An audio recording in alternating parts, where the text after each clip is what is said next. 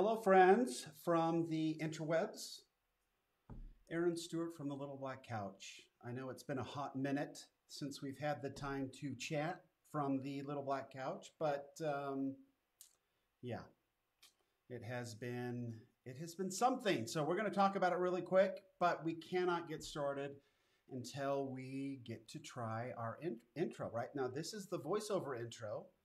Um, it's absolutely awful, but it saves me a lot of time with the podcast portion of it. So, so bear with me and me uh, trying to save a little time um, so I can be with my family more. Do you love entrepreneurship? I do. I have been researching and living entrepreneurship for the last 30 years, and I believe entrepreneurship is the most efficient method to solve world problems. And I am passionate about helping those who dare to dream find solutions to these problems as they learn to live their definition of success. Hi, my name is Aaron Stewart, and I am so glad you have joined us today. And I welcome you now to the Little Black Couch, a journey in entrepreneurship.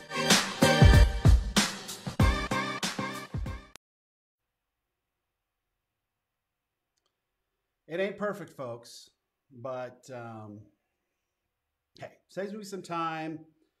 You know, those things are funny, right? Because when you record them, you know, they be animated, do all this kind of stuff. But then when you have to listen to your own voice, I'm passionate. Whatever. Okay. So, yeah, a couple things today. We have been working uh, nonstop, it feels like, on um, Jozu Post. I'm going to adjust the camera a little bit. On Jozu Post and getting along, it's it's so important that we get this right just for launch because the the automations make it run. And if you're not automating all of it it could be a nightmare. It could get out of control super quickly um, because it's such an intense system. So we're just trying to cross the t's and dot the i's and make sure that it's working right. But anyhow so this this actually provides a little test of something that um, we want to keep working on. So, all right. Um, let me, let's see, where are we anyway? Do we even know where we're at? I don't know where we're at. Okay, so a couple things really quickly that I've, I've discovered as we've been working through this automation. Um, a lot of, a part of what we do is, you know, we, we create the graphics on the fly, and that causes some interesting problems as we found out. So th- that's the coolest part about being an entrepreneur is you go out to solve a problem and as you dive into a problem and you start looking at all the different aspects of it, there's always things that pop up that you're not expecting. So this was definitely one of those times. And I'm going to, so I'm gonna, I'm gonna bring up my screen really quickly. Um, if I'm, if I can here, we'll go here. Okay. So when you do, when you do um, lives, you can do them one of two ways. So I'm going to bring up my screen real, well, I'll do this real quick. You can do them one of two ways, right? You can do it like this, where I sit in my office, I've got my camera set up, I've got my computer, I've got the nice little, right, horizontal sort of view. It's very easy to make one of these videos work. It's easy to put a thumbnail up on it to make it nice. And what do we know about thumbnails? Thumbnails are, are thumbnails make it so your video is clicked three times more than if you don't have a thumbnail. So thumbnails are kind of a big deal, right? If somebody comes to your library of videos and they're scanning and they're trying to figure out what to, to read, research shows us that thumbnails make a huge difference. Okay, so on YouTube and on Facebook, you got to have your thumbnails. Okay, and they're a pain. They're a pain to make. So we've been trying to figure out a way to automate these, and we figured out how to automate making the graphic, um, and that's been the easy part. But the funny, the funny thing has been is as we've gone out of here. I'll bring up my. So this is a, this is a where is it here? Okay. So this is my little black couch video page. Okay, and so all my videos here. Let's see if I can make this bigger so it's easier to see. Ooh, no. let's let's do this then. Does that work? Come on, baby. Oh, there you go. Okay, so that made it a little bigger. Okay, so these are like these are all the videos. These are the ones that I do sort of all the time. Um, and then you've got different channels, the training. This is actually going to be a little training, so maybe it will have a green one. But typically, all my live videos come out looking like this. They've got the, the fluorescent green, right? It's about pa um, pattern interrupt. I want people to see the green and stop as they're scrolling, and so that's what I do. Um, is it a very professional look? Yeah, you know, a lot of thumbnails aren't. They're just supposed to at least communicate very quickly and accurately what the video's about, right? It's your hook. We always talk about these hooks. Your thumbnail is a perfect example of a hook. Okay, so when you do live videos, and I'll bring up this one really quickly here, um, and I am going to pause it because I, I hate listening to these things. So, so we'll stop. Okay, so this one was in my car, right? And so when you do it in your car, you've got your phone up, and I have a little thing that holds it so I can be super safe because I'm safety. Um, I'm very conscientious when it comes to safety. And um, I learned last night that my daughter doesn't want me to die, so that's nice. But anyway, so when I'm driving, then you do a video. Well, now you can't have it, right? And I guess I could figure something out to do it, but most of us, when we go live, we just hold the phone up, boom, and we just kind of go live. Well, that creates this this very right um, odd shaped video. And if you if you just look over there at the thumbnails here, you can kind of see that those thumbnails are really you know not shaped the same way as as this. So it does cause some problems. So if we go back to my video page, you can see here, I don't have a thumbnail on this one. So that's hideous. When you look at all the other ones that I have around, there's no thumbnail. That one sticks out. And I know that it's not going to be clicked very often because it looks ridiculous. Oh, look at that. I didn't know we have a Mickey Mouse hand that shows up. That's cool. Okay, but but then if you go and try to actually do a thumbnail like you've done standard on all the other ones. Hey everyone, Aaron. Aaron, quiet you, you get this. So if I go up and edit my video here, and you go into put in your thumbnail, let's bring these up. So this is just a standard normal thumbnail that I use everywhere else. And it comes out and it looks like, you know, it looks ridiculous. Oh, let me see here. Yes, I want to leave. Right? So it looks like this. What drives you? It's all stretched out. It looks ridiculous. It's horrible. So that had been driving me absolutely crazy I hated it, right? So I had to figure out a solution. So here's the cool here's the cool thing. There is a solution. It's not really broadcast anywhere. It's not shared anywhere, but I want to share it with you, my peeps. There's a real um, easier way to do this. And so I'm going to bring up, this is Photoshop now, and I did this quick little graphic. So this is how you have to handle those. So to do a thumbnail that works really well for those videos that you do live just on your mobile phone, you need to create a graphic that is 1080 here, 1080 wide, and 1920 long. And yes, this is the same size as an Instagram story post. Okay, so 1080 by 1920, that's the size you want to make it. And then you want to position a, a graphic here. Now, what's the size of this graphic? The best size that works is a thumbnail. If you just use your standard thumbnail graphic and put it on here, which is, what is it, 1280 by 720. So if you take your just standard 1280 by 720 graphic and you position it here, and then you obviously um, 1200 is wider than 1080, so you shrink it to get it so it fits within the 1080. That, those dimensions are perfect. And you position it between this 330, so it's 330 pixels down, and that positions it at 940 pixels here. You don't really need to worry about that. If you get the top edge right at 330, and then you save this out and you use this, then I've put this big down here so I know exactly what this is for. But then if you save this out and you upload this as your thumbnail, let me show you what that looks like. Please be quiet. Don't talk. Okay. We don't like it when he talks. So if, if we go here and we edit this video. Oh, don't, don't folks. Okay, we edit this video here. I've already uploaded it. I go to my thumbnail. So this is this is the one here, right? So I'll select it. I've now added some fancy stuff to it, whatever. Um, but so I, oh no, I already selected it. So I'll select this one and then save. And then we exit out of this little pig. And we will refresh the screen here. And now, look, look how pretty it is. It's so pretty. Okay. Oops. Refresh, please. Um, here it comes, here it comes, here it comes. What is going on? I've got like a, a loop going on here. Huh. Interesting. So if I, let's see, I didn't refresh. Refresh it. Come on.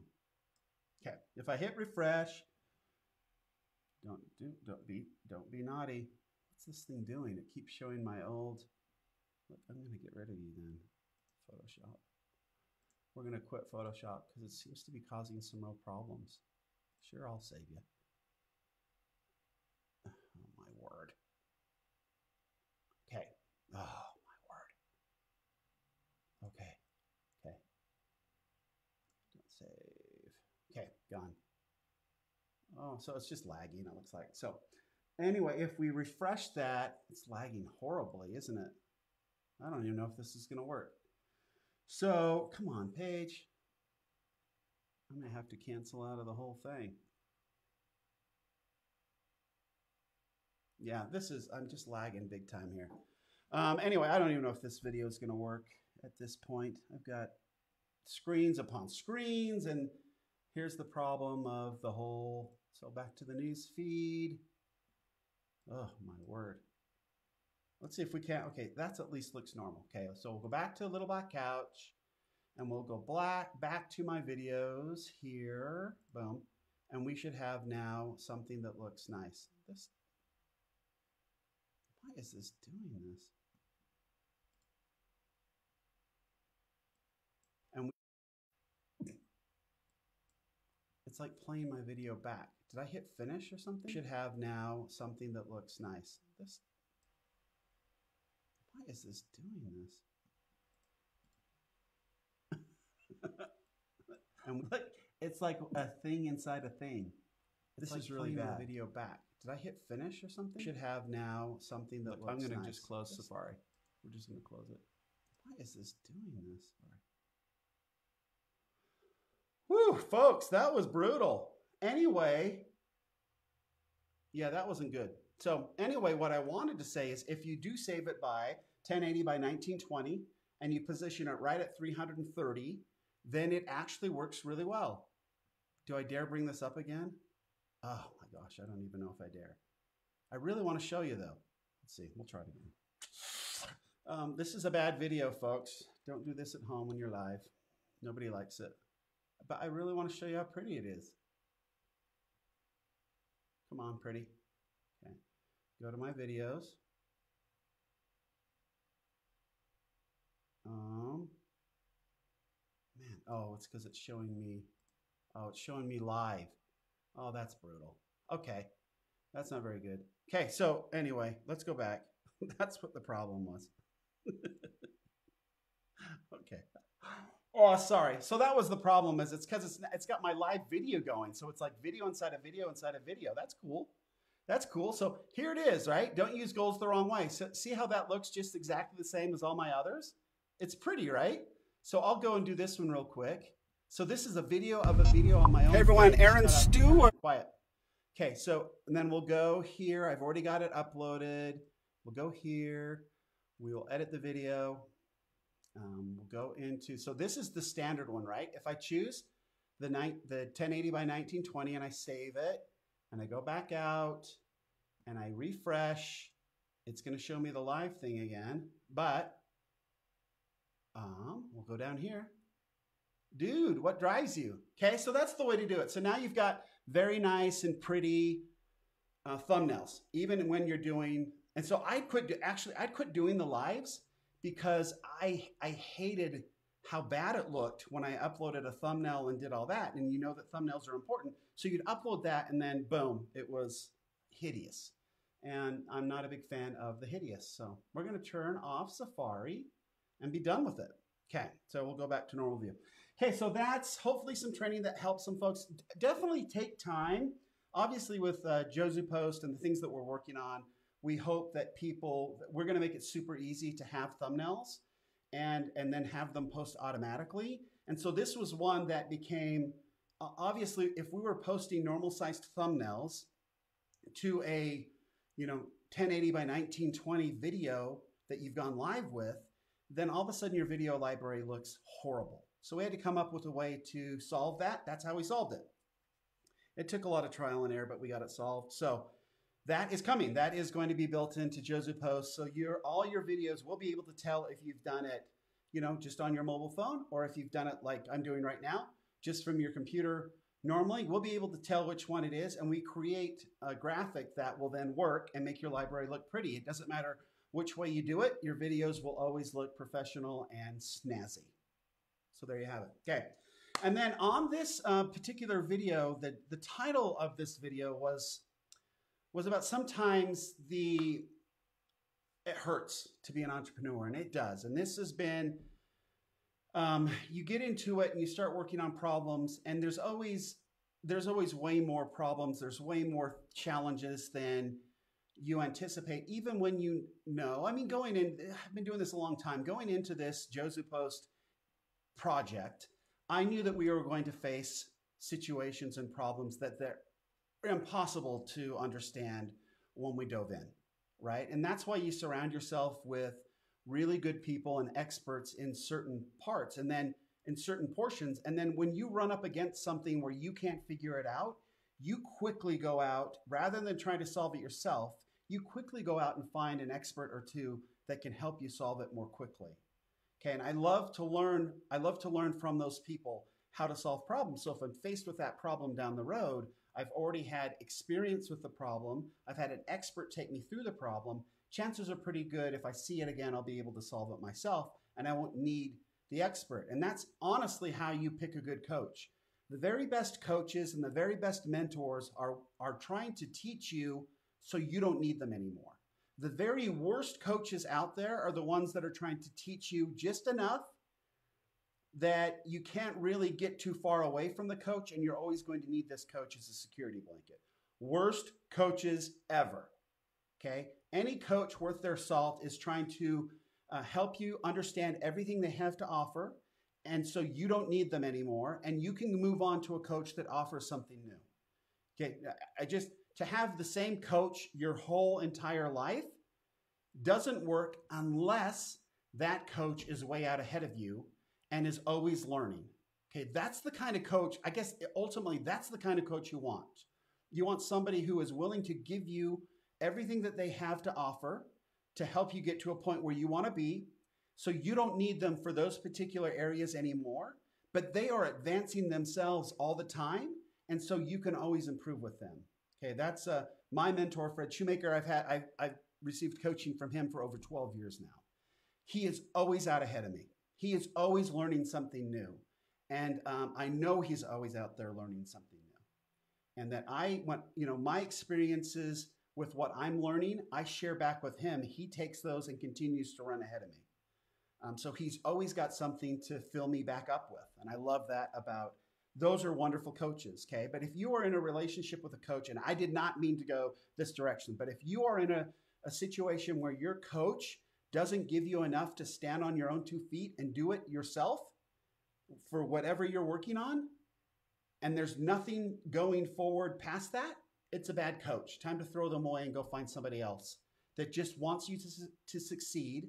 And if they're only willing to go so far with you, that's willing to hand you off to the next coach that you need that, that and they can tell you what you need next and help you find the next expert if they're not willing to go that direction themselves if that's not the way they're going then so be it right if you're only taking me if you're only going to cincinnati awesome i will ride with you to cincinnati and then i will you know find somebody else to take me the rest of the way to what new york city i don't want to go to new york i've had enough of that place anyway and, and if you can make it there, it is not true that you can make it anywhere.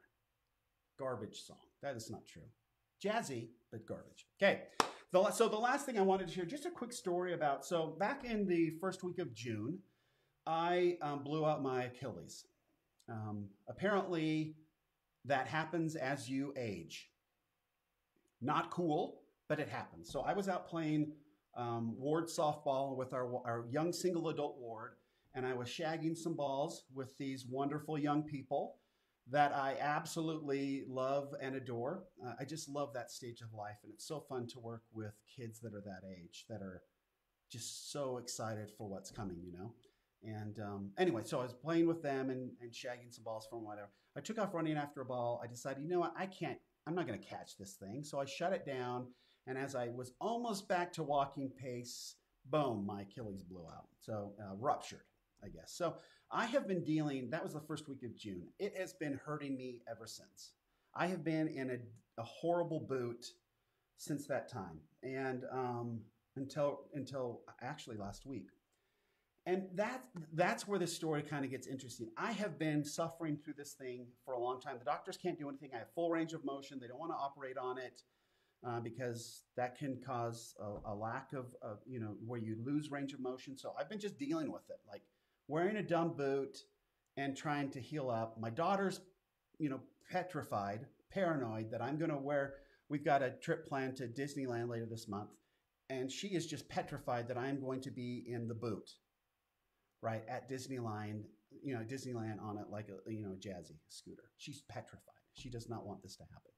So I'm trying to heal up and get better as quickly as I can. So I was talking with a friend of mine who is also a ClickFunnels fellow, but he is a nutritionist and trainer over at BYU, Brigham Young University, on the football team, on the football staff. Um, very smart guy, intelligent guy. We actually served in the mission field together in Japan. So we've known each other for a long time. And I, I guess the last five years or so become, well, not probably 10, more than that. Anyway, we're good friends. He's a good dude. So anyway, he comes over. So I tell him, look, I tell him about my foot, that it's still killing me. And he can't believe that we're into this thing.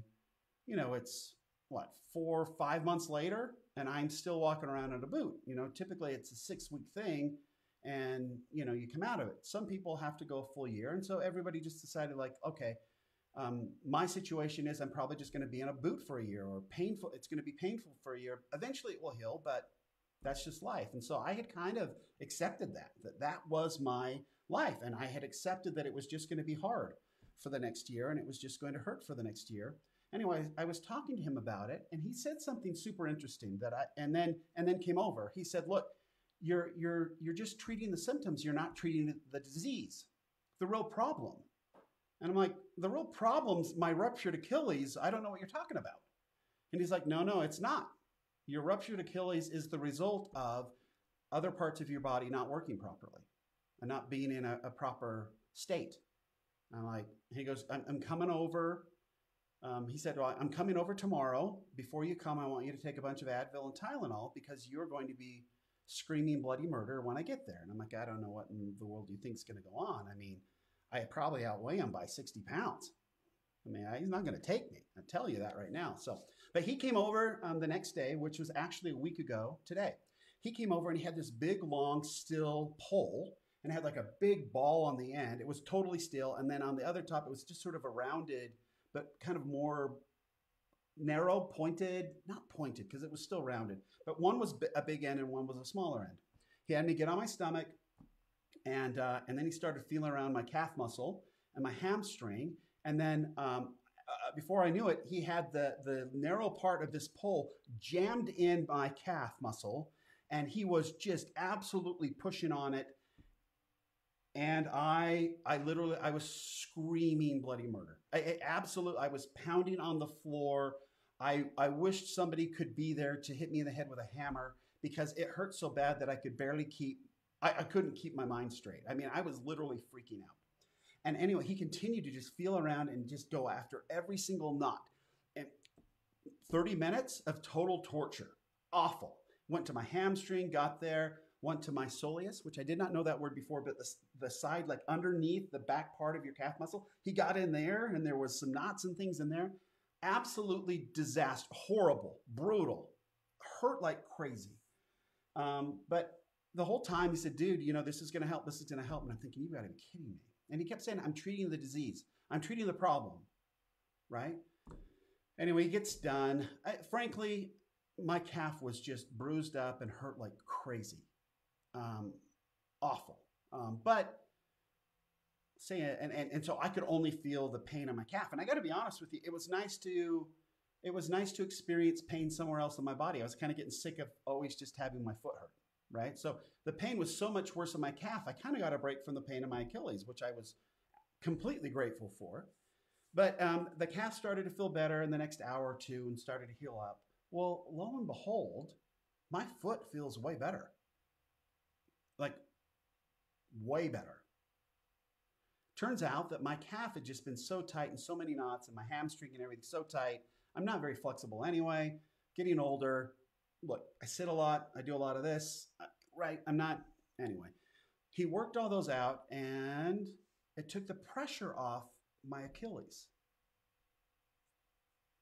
And that's kind of the lesson here. And I've been healing up since. I, I, I now am personally wrenching on my calf to make sure I keep it loose because I have in the last week made more progress than I had in the previous five months. Where this is literally healing. Like I think that I'm going to be in pretty good shape in you know a couple weeks when we go to Disneyland. I am just absolutely ecstatic. So the, the moral of the story, the lesson to this from to me, and I've seen this so many times in entrepreneurship, is that sometimes we're in the middle of real pain, real hurt, and we're just allowing that pain to continue on and sort of we accept it. Like, ah, oh, man, it stinks. But it's just the way it is right now.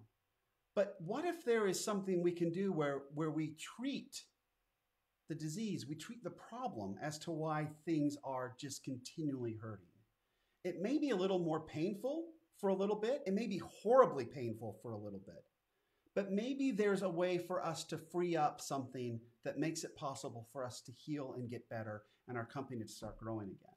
There's, there's some examples of this. I think ClickFunnels has definitely tried to do that.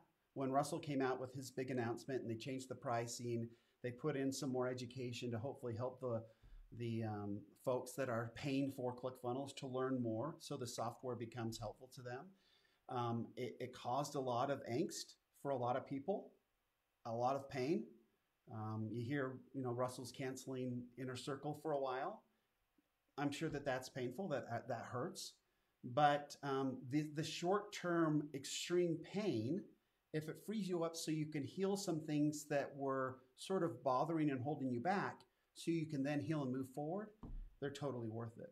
So look at your business and see what things are bothering you, what things are painful, and what things continually to be, continue to be painful day to day. Identify those and then see if there's a solution or a problem or investment or a, a hire or something that could, short term, probably hurt a little bit more, right? And hurts cash flow, hurts um, maybe the, um, you know, maybe the feel in the office. Like I, I really like to not have a lot of people around me, so I really like, but could I bring somebody in to help me deal with some things that I don't like to deal with? Possibly.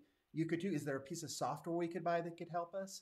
Is some, there some automations that we could put in place? Could we hire somebody to help us with some things to make our business more efficient? Look at those things, and they might, in the short term, hurt more. They might they may cause you to scream bloody murder for 30 minutes or longer. But then maybe your business can heal and move forward and progress because you've dealt with this thing that's just been hurting for a long time. So that is the lesson for today. I know it's been, again, a long time since I've sat here at the little black couch and we haven't seen Buddy. Let's check the. Oh, so Buddy was a little shocked with uh, shocked with the message. So yeah, so that was good. So Buddy was a little shocked. It's rare. It's rare that I shock Buddy. So that was good. Buddy the couch here with me for 20 some odd years. He's the best friend an entrepreneur can have. No question about it. Love you, Buddy. Okay, so thanks for joining me here on the Little Black Couch. Please take a look at your business. If there's anything that you can do to improve. Um, and it, even if it hurts a little bit, give it a chance and you'll see your business heal. Things will change and you'll get better. Thank you for being an entrepreneur. Thank you for joining me. We are, we are on the front lines. We are the ones who learn and grow and take on risks so we can solve problems for other people and hopefully make their lives better for them down the road. It's what we do. It's the, it's the, um, it's the cross we bear. It's the badge we carry. It's just the way it is. Okay, thanks for joining me. Until next time, Aaron Stewart from the Little Black Couch. Do good. Be well.